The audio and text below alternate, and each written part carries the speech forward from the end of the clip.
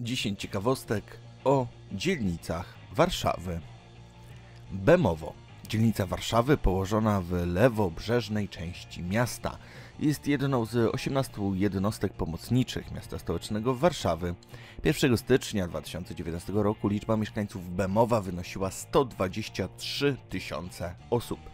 Nazwa dzielnicy, odnosząca się pierwotnie do znajdującego się tam osiedla, została wprowadzona po II wojnie światowej. Wcześniej dzielnica ta nazywała się Boernerowo, na cześć ministra poczt i telegrafów Ignacego Boernera. Aktualnie tak nazywa się jedynie osiedle.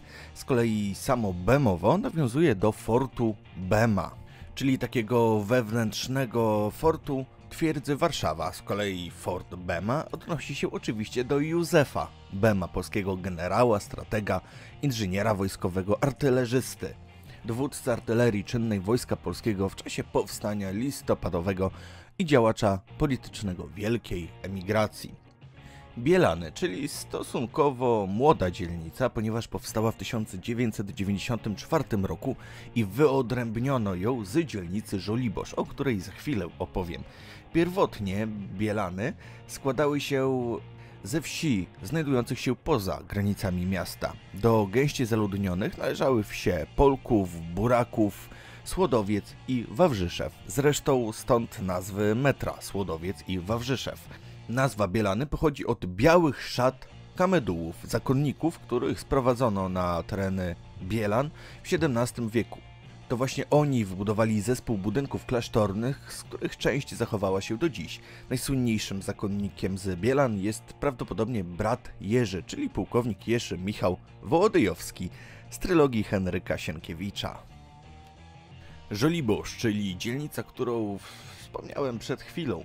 Otóż warto wspomnieć, że w okresie międzywojennym między dworcem gdańskim a ulicą generała Zającz, czyli okolice aktualnego stadionu Polonii Warszawa zajmowały baraki dla bezdomnych. Było ich ponad 60 i były zbudowane z drewna. Żoliborz był jedną z najmniej zniszczonych w czasie II wojny światowej dzielnic miasta, mimo że to właśnie tam znajdował się jeden z głównych punktów oporu polskiego podziemia w trakcie powstania warszawskiego, ponieważ niedaleko Żoliborza znajduje się Stare Miasto. Przy okazji warto zaznaczyć, że to właśnie od Żoliborza rozpoczęła się odbudowa Warszawy. To właśnie tam 7 lipca 1946 roku wmurowano kamień węgielny pod budowę nowego budynku WSM, pierwszego nowego budynku mieszkalnego w powojennej Warszawie. Sama nazwa Żoliborz wzięła się od francuskiej nazwy Żoliborz, czyli piękny brzeg. Tak nazywano posiadłość konwiktu księży Pijarów założoną nad Wisłą w XVIII wieku. Mokotów, czyli dzielnica Warszawy, która wcześniej była wsią. Wieś Mokotów została założona w 1367 roku. 8 kwietnia 1916 roku wydano rozporządzenie włączające w całości gminę Mokotów do Warszawy. Mokotów był jedną z najmniej zniszczonych w czasie II wojny światowej dzielnic Warszawy, prawdopodobnie dlatego, że tam Niemcy wkraczali jako pierwsi i tam nie odbywały się jakieś wielkie bitwy, tylko Niemcy po prostu przechodzili przez tę dzielnicę, zarówno w trakcie ataku na Warszawę w 1939, jak i w trakcie powstania warszawskiego. Aktualnie to właśnie na Mokotowie znajduje się wielkie skupisko budynków biurowych i na Mokotowie znajduje się miejsce, gdzie pracują wszyscy korpoludzie. Miejsce to nazywamy Mordorem. Otóż sama nazwa Mokotów wzięła się właśnie od nazwy wsi i prawdopodobnie pochodzi to od imienia Mokot, ale to nie jest pewne. Ochota, czyli kolejna dzielnica, która nie zawsze była dzielnicą Warszawy, a jest starsza niż Mokotów, ponieważ pierwsze wzmianki o terenie, na którym leży dzisiejsza Ochota, pochodzą z 1238 roku. Przez długi czas Ochota wchodziła w obręb królewskiej wsi Wielka Wola. Zaczęła się bardzo szybko rozwijać z tego względu, że właśnie przez teren tej wsi przechodziły główne drogi prowadzące do Warszawy.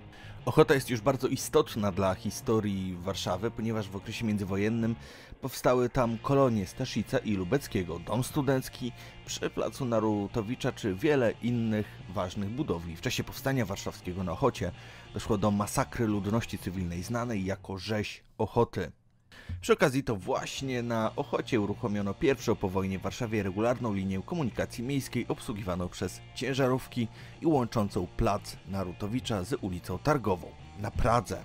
Skąd nazwa Ochota? To jest akurat ciekawe, bo nazwa Ochota pochodzi od karczmy Ochota, zniesionej po 1831 roku z biegu ulic Grujeckiej i Kaliskiej. Ochota nie jest jednak jedyną dzielnicą, która wyodrębniła się ze wsi Wola. Ze wsi Wola powstała również dzielnica Wola. No i tutaj już wiemy skąd się wzięła nazwa. Ale skąd wzięła się nazwa wsi Wola Warszawska, bo to jest istotne. Otóż Wieś ta otrzymała nazwę od wolnych elekcji, podczas których szlachta wybierała króla Rzeczypospolitej. Pierwsza z nich odbyła się na polach między wsią Wielka Wola a Starym Miastem w 1575 roku. Królem został wtedy Stefan Batory. Wybrano tu także kolejnych dziewięciu władców Rzeczypospolitej. Pojawiają się również głosy, że nazwa Wola oznaczała w ówczesnej polszczyźnie m.in. wieś lub majątek zwolniony czasowo lub wieczyście od opłat czynszowych. Także Wola Warszawska można przetłumaczyć jako wieś warszawska, ale to są tylko domysły. Wilanów, czyli dzielnica bardzo królewska. Wilanów był jedną z najstarszych osad w okolicach Warszawy. Do drugiej połowy XVII wieku używano nazwy Milanów. Wieś Milanowo do 1338 roku była własnością opactwa benedyktynów w Płocku. W 1338 roku właścicielem stał się książę Czerski i Sochaczewski Trojdena. Kolejni właściciele Milanowa to m.in. milanowscy, leszczyńscy i krzyccy. Wieś szlachecka Milanowo w 1580 roku znajdowała się w powiecie warszawskim, ziemi warszawskiej województwa mazowieckiego. W 1677 roku dwór w Milanowie, który dziś jest jedną z głównych atrakcji turystycznych Warszawy, został odkupiony przez Jana III Sobieskiego.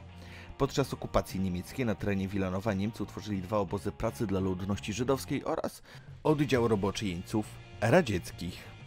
W 1945 roku cały zespół pałacowo-ogrodowy Wilanowa przeszedł na własność państwa, stając się oddziałem Muzeum Narodowego w Warszawie. Skąd nazwa Wilanów? Otóż pierwotnie, tak jak wcześniej wspomniałem, nazwa Wilanowa to Milanow, co pochodziło od imienia Milon – co z kolei pochodziło od imion z założycieli, czyli Milosław albo Milobrat. W 1677 roku dwór w Milanowie został odkupiony przez Jana III Sobieskiego jako Villanowa. Obecna nazwa to najprawdopodobniej spolszczona forma nazwy pałacu. Villanowa Wilanów. Proste.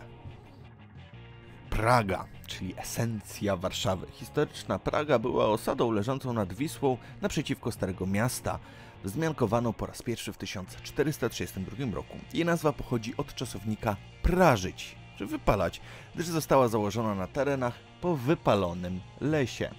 To właśnie na Pradze po II wojnie światowej miały siedzibę tymczasowe władze miasta, ponieważ Praga nie została aż tak zniszczona jak lewa część Warszawy, ponieważ Praga leży po prawej stronie Wisły. Poza tym na Pradze udało się zachować przedwojenny praski folklor, kto tam był, ten wie. Wawer, czyli dzielnica, w której mieszkam od dobrych 8 lat. Otóż Wawer został przyłączony do Warszawy w 1951 roku. W latach 1960-1994 obszar Wawra stanowił część dzielnicy Warszawa-Praga Południe. W wyniku przeprowadzonej reformy administracyjnej Warszawy ówczesna dzielnica Warszawa-Praga Południe została podzielona na trzy osobne gminy, m.in. Pragę Południe i Wawer które w 2002 roku zostały przekształcone w dzisiejsze dzielnice. Nazwa Wawer pochodzi od karczmy Wawer, która istnieje do dziś jednakże pod inną nazwą, a dokładnie Zajazd Napoleoński. Najstarsza wzmianka o karczmie pochodzi z 1727 roku. Kolonia Wawer powstała w 1838 roku. Pierwsi osadnicy pojawili się w niej w 1839 roku, zaś podczas powstania listopadowego rozegrały się tam na początku 1831 roku pierwsza i druga bitwa wawerska. Muranów. Nie jest to dzielnica Warszawy, jest to jedynie część dzielnicy, ale część dzielnicy Śródmieście. No skąd się wzięła nazwa Śródmieście? No to przecież wiadomo, tak, że od środka miasta jednakże Muranów jest bardzo istotnym miejscem w Warszawie. To właśnie tam pierwsze osiedle mieszkalne powstało w XVII wieku. Wiele współczesnego Muranowa było w przeszłości zamieszkiwane przez ludność żydowską pochodzącą z Litwy i Białorusi. Językami ulicy stały się jidysz, hebrajski oraz rosyjski. U progu XX wieku cała dzielnica była miastem w mieście, w dodatku pełnym skrajnych kontrastów. W 1916 roku zabudowa była bardzo gęsta, obiekty o charakterze przemysłowym występowały na przemian z zabudową mieszkalną. Na terenie dzielnicy znajdowało się kilka budynków o określonych funkcjach, jak np. Pałac Mostowskich, Pawiak i jego oddział kobiecy na ulicy Dzielnej zwany potocznie Serbią dominacja ludności żydowskiej była tak silna na Muranowie, że całą dzielnicę włączono podczas II wojny światowej do getta.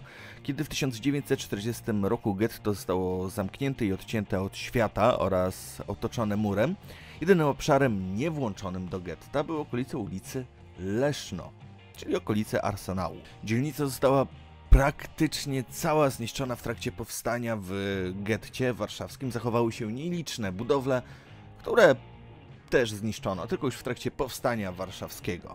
To właśnie tam odbywały się najcięższe walki, tam działały najsilniejsze grupy powstańcze i tam doszło do mordu na 200 osobach, których podejrzewano o związki z powstańcami. Po zakończeniu wojny Muranów został odbudowany bezpośrednio na gruzach getta, co jest przyczyną jego charakterystycznej pagórkowatości. A skąd nazwa Muranów? Otóż pałacyk w Muranowie wybudował Józef Szymon Bellotti, pochodzący z wysepki Murano. Owy pałacyk nazwał właśnie na cześć swojej ukochanej wyspy, czyli Murano i stąd współczesny Muranów. Dzięki za obejrzenie do końca. Mam nadzieję, że ten odcinek Wam się podobał. Dajcie znać w komentarzu, o czym chcecie kolejną dyszkę i zapraszam Was na moje dwa pozostałe kanały, a to ciekawe oraz światowa historia.